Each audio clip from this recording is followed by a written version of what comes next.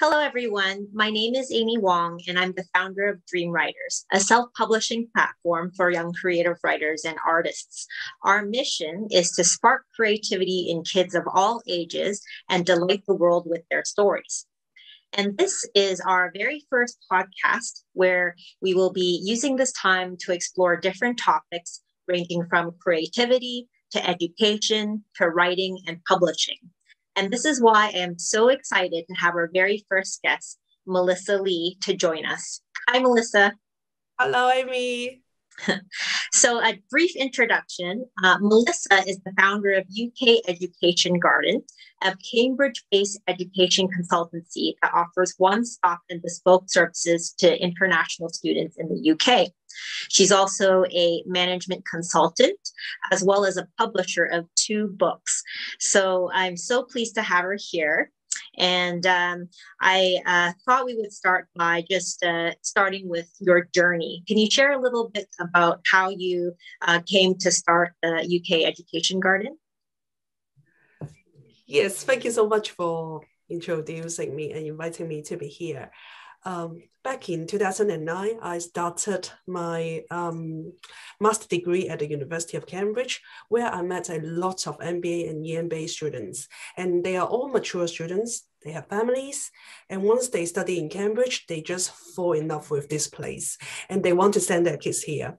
Since I've been studying education for quite some time, and they just trust me, they bring their kids to me and ask me to, to send them to a good school in the UK. So that's how I started my own, yeah, my own consultancy. I see. Which is which is quite interesting. And then those MBA students now becomes most of yeah, they become my friends and they refer quite a lot of um, families to me. So our consulting our consultancy mainly work with um, those EMBA or MBA's families ah, around. Okay. Ah, um, and so, can you take it a step back and tell us how you kind of got into education and how, why you fell in love with this particular field? Oh, that's a very good question. My story is pretty much like a Chinese author. He was a medical doctor, just like my father. And originally, when I was small, I would like to become a medical doctor or a politician. Mm. But my hmm. father constantly remind me not to go for that. And the next available uh, option, which I love to do, is education. And that's why um, when I finished my A level, I've told myself not to choose um, not to choose GPA, which at that time is about government um, politics and, and management. But I, I swap it to education. Um, it, it, was a difficult decision, but I need to mm. listen to my parents because they will worry about me if I become a politician. And um, yeah, that's that's why I am now an educator, which I, I find it quite fulfilling as well. For the past 15 years, I've been helping a lot of kids and their families, which I is see. which is quite quite nice. It's, it's like being a doctor. yeah, I, I, think a lot of um, people would feel the same way in that um, their parents may have a certain uh, direction that they want their kids to follow. Um, but mm-hmm. ultimately, um, I think uh, it's up to all of us individually to chart our own path. Um, so, uh, given your experience, uh, you know, in Hong Kong, growing up in Hong Kong, studying here, and then working in the UK for almost 15 years. Um, can you tell us a little bit more about the differences you see in education in Hong Kong versus the UK? Um, yes, I think UK is much more focused on creativity and arts. Um, having been a student in both Asia and, and Europe, I just can tell there's a very massive difference oh. between the education systems in different countries. Personally, I, I really like the UK system myself. Mm. Uh, I just give you an example. I I love my kids to learn Chinese. I, I did think about whether I should send them back to Hong Kong, and I've relocated back to Hong Kong because I can yeah, the kids could learn solid Chinese in Hong Kong. But and then when I think of creativity and art, or sports element, I love them to stay in the UK Mm. because this is something I don't, I just don't think Asian culture could. Mm, I, how do I put it? I, I think UK is better. Let me put it this way. I, I think um, a lot of Hong Kong um, education education uh, or teachers have has been adapting the UK cultures or the UK systems. Um, I'm sure it's now getting much better. Mm. So, so you talked about your preference towards a more creative-based education. Um, can you tell us a little bit more about why you think it's so important? It is important because when you can Google everything on your Mm. fingertips, and knowledge is just so easy to get. I think creativity is the future. Mm, mm, mm. Yeah, I, I yeah, I, I didn't think about it that way because um, I guess in the past when we were growing up, uh, we are taking tests and exams, and uh, a lot of it uh, wasn't available so easily on the internet. Um, but uh, kind of looking towards the future when we have to solve such unprecedented issues in the world, it requires creative thinking. Um, interesting. Yeah, yeah, yeah. Um, I think uh, the, the world is getting much more complicated. For example, the COVID has changed the world in the past 12 months. If we don't have any creative method, I don't know how we could solve the problem because mm, there's nothing in the previous book, not too much that we, we could follow, yeah, that's very Except true.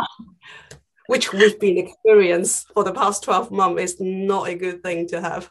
Yeah, yeah, yeah, absolutely. Um, interesting. So uh, I wanted to maybe uh, switch uh, course a little bit because I understand um, that you've published two books before. Um, can you tell us a little bit about um, what the contents of those books are and what inspired you to write them? Uh, the first book which I published was back in 2006. Um, both me and Maggie, Maggie was another co-author, we went to different parts of the world to, inter- to interview the world famous children's author, which is wa- wa- was a wonderful experience. Oh, you interviewed other authors. We, we interviewed, yes. Oh, I see. Maggie and I interviewed a lot of famous authors. Uh-huh. Uh, uh, we have a professor in Taiwan, a Uh-huh. professor in Germany, a professor in England. Um, so we cover Hong Kong, Taiwan, mainland China, and Western countries. Mm, all about mm. Did you see a certain pattern um, in your interviews with all these different authors? They all love writing, Okay. Yeah. and they all love something. Uh, obviously, they love children and they love writing. They Mhm. also trying to be creative in I their see. teaching so that they can inspire the next generation. Uh-huh. Um, and um, when you say, just picking up on what you just said, um, when they try to be creative in the way they teach, um, what, what kind of things do you notice? Um, well, I've noticed I, I've been to their lessons. Uh-huh. The, the reason why I now settle down in Cambridge because there, there's a good um, university here which also offer children's literature. I haven't got chance to study it because I'm very busy. But um, what I've noticed is I've been joining different types of lessons in Cambridge or in the surrounding area, like London or in Durham. And what I've noticed is all those creativity um, or creative writing teacher, they are they just let you do whatever you want. Or Mm. even in writing, they give you the uh, freedom to do it. Of course, they will guide you to the right direction, but to start with, they give you the freedom to do something you like.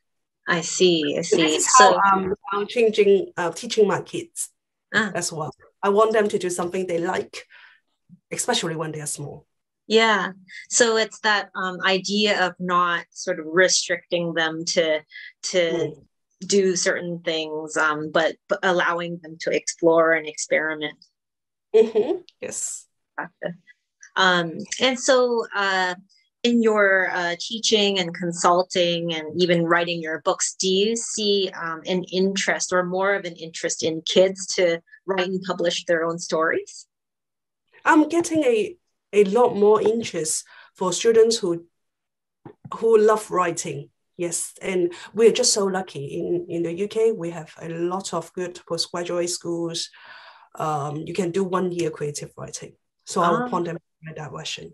Mm. Do you think um, technology has a um, a role in kind of uh, getting kids more interested in the in publishing? Because in the past, yes. it's always been adults kind of being the the authors and publishers of books. Of course, yes. Yeah. We, sometimes my kids want to um, want to write something and i would i would just use my phone to take some pictures of their own creating and just put it in the computer and then get a print um, myself. So it is quite it's quite it's quite easy now nowadays. And there are also a lot of platforms which could allow you to do that. Mm, right right um, and uh, how does writing help with cultivating uh, kids' creativity? Writing is a solid part of the kids' learning. I think if we could integrate creativity with the writing, actually the kids would would learn more vocabularies mm. and they will also enjoy their their learning a, a lot more Mm, mm, mm. whatever they want when they are small. Although when you're older, you can't. like my father, don't get into politics. I see. So rather than, um, let's say, uh, having the the kid um, learn like grammar or spelling through workbooks or, things like that of that nature. It's allowing them to explore a subject that they're interested in. And then through that, then they can learn these mechanical things afterwards. Yes, I agree. Yes. Yeah. And even when they are writing, they know that if they're going to publish it, they will suddenly care about how they write it in a better way. Mm. Because they know it's part of their portrait. It's part of their their own work. Right. And they will, they will suddenly become, oh, how do I put this word correctly? Uh-huh. It's, it's, different also, from it's the idea of, sharing. Oh, I'm sorry. Go ahead. it's different from doing a piece of homework, which they will, oh, it's just a piece of homework. Uh-huh. But but when you tell them, oh, we're going to publish this, can we do it a little bit better? They suddenly ask you, oh, how do I spell? How do I spell this? Or how do I spell that? How do I put the sentences into right order? Uh-huh. That's, so it's the idea of being able to to share and entertain others that maybe makes them more conscious of their own writing. Yeah. I, I, think it's all you're right. It's also making them more eager to learn mm. to express themselves in a much better way. Mm, mm, mm, Great. Um, well, my last question for you is um, if you had any advice to give, um, you know, kids who maybe a little bit, um, you know, not a little bit scared of writing, or maybe kids who like to write um, in general to publish. Yes. What, what, what, what advice would you give? I think it's important for them to go to the nature for example, you can you can bring them to the forest. Mm-hmm. Um, we, we have a lot of forest school here in the UK, which mm. is amazing. Or bring them to uh, the green area, mm. bring them to the seaside, so that they could join the nature, they connect with the nature. And then uh, what I've noticed is they they will have much more creative ideas when they are coming back. Oh, I see. So kind of use the environment uh, as a source of inspiration. Yes. Okay. Great. Great. I, to kids, this is something um, they they like and it's good for their health. and um, also, it will give them a vital message that they need to love our world. Mm. Because when they grow up, um, they are going to control our world right. they will be the next generation. So I want them to love the environment. Yeah, we started when they were small. Uh-huh. Mm-hmm. Great. Um, I think that's a really positive message and very encouraging as well. Hello, I would like to show you some examples of how I use different types of toys, musical instruments, and books to teach my kids creativity at home. My son loves trains. So in my house, we got a lot of trains and train track. What I've been doing is when they were very small, they started to build up all the train track themselves. And I will introduce you all different types of train from different parts of the world, like from France, Germany, Japan, or China. And he also loved drawing different types of trains. And this is one of his creation when he was three years old. Let me just quickly show you. So can you see the different types of train track? And he puts it all together as a very, very big photo.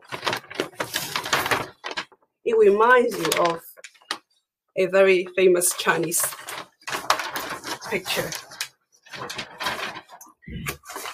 And sometimes we will use the recycled material as well. Look at this. This is also a drawing. And there are also some really creative books which I've been showing and reading to them. For example, this one. I'm sure you you will know, and um, it's all about the ocean. And in the same version, um, that one, Hoidaya Batandika is a Chinese book. I think originally it's from Japan. And in the UK, we can also buy a similar one about ocean, and it has different layers. They are so creative. And here we have uh, 104. Uh, there are different there are different homes on in different floors. And I also found this book very, very creative. It gives them a lot of ideas about building a house or being creative. Last but not least, let's just show you two more books. This is a very creative book about the Chinese New Year. And the kids could mix and match to choose their corsets. So even learning uh, what to wear is part of the creative activities every day, every morning. And th this book is a very nice one as well. And the author trying to to tell us that you can grow a balloon tree. So, um, well, Melissa, thank you so much for your time. I, I know, uh, you know, you're a very very busy person. I, I, think you're working on your third book if i'm not mistaken.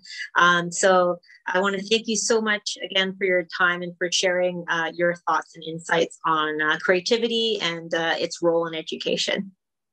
Thank you so much amy. Hope to see you next time. Bye bye bye